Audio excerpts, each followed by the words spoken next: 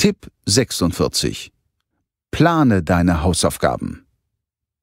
Finde den richtigen Start zum Lernen. Oft ist es sinnvoller, nach dem Mittagessen erst einmal eine Ruhephase einzulegen. Um dir anschließend den Start zu erleichtern, solltest du in dieser Pause nichts Spannendes tun, denn sonst wird dir das Umschalten aufs Lernen schwerfallen. Bereite deinen Hausaufgabenstart mit einem Ritual vor. Die erfolgreiche deutsche Biathletin Kathi Wilhelm isst zum Beispiel in den letzten Minuten vor jedem Wettkampf eine Banane, setzt ihre rote Mütze auf und bindet sich einige Male die Schuhe. Und dies bei jedem Start. Damit stellt sie sich hundertprozentig auf den Wettkampf ein.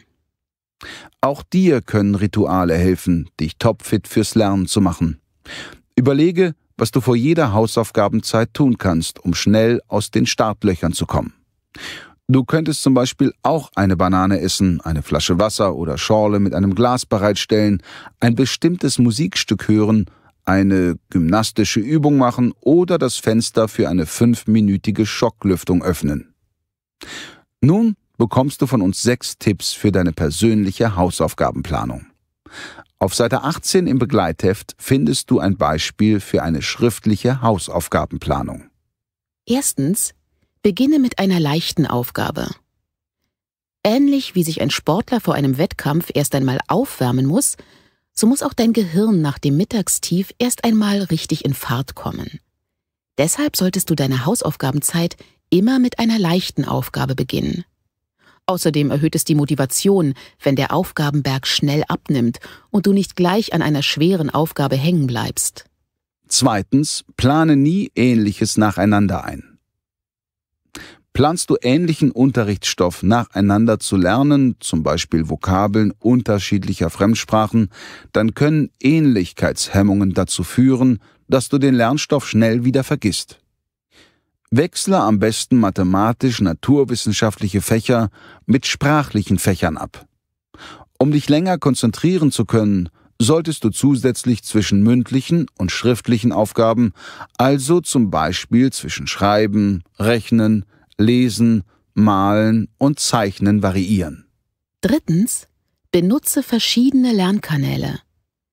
Je monotoner das Lernen, umso schneller sinkt auch die Konzentrationsfähigkeit. Nutze deshalb möglichst viele Lernkanäle. Das macht nicht nur Spaß, sondern verbessert auch die Merkfähigkeit. Viertens, lege regelmäßig Pausen ein. Dass Pausen wichtig sind, um überhaupt längere Zeit konzentriert arbeiten zu können, haben wir dir bereits erklärt. Wichtig ist, dass du dir schon vor dem Lernen überlegst, wann und wie lange du eine Pause machst und wie du diese Pause sinnvoll nutzen willst. Fünftens, Plane schriftlich.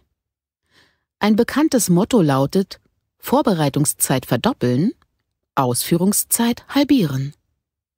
Nimm dir in diesem Sinne ausreichend Zeit zur schriftlichen Planung. Du wirst schnell merken, dass sich diese Planungszeit lohnt, weil du nämlich dann die Hausaufgaben zielgerichteter und auch schneller erledigst. Und sechstens, verwende Post-its zur Planung.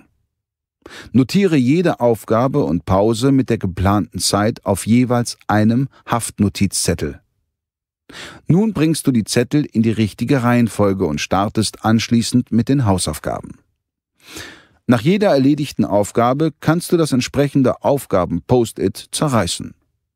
So siehst du, wie der Aufgabenberg immer kleiner wird und das motiviert dich zum Weiterarbeiten. Die Planung mit Haftklebezetteln ist sehr flexibel, weil du die Reihenfolge so lange verändern kannst, bis deine Planung steht.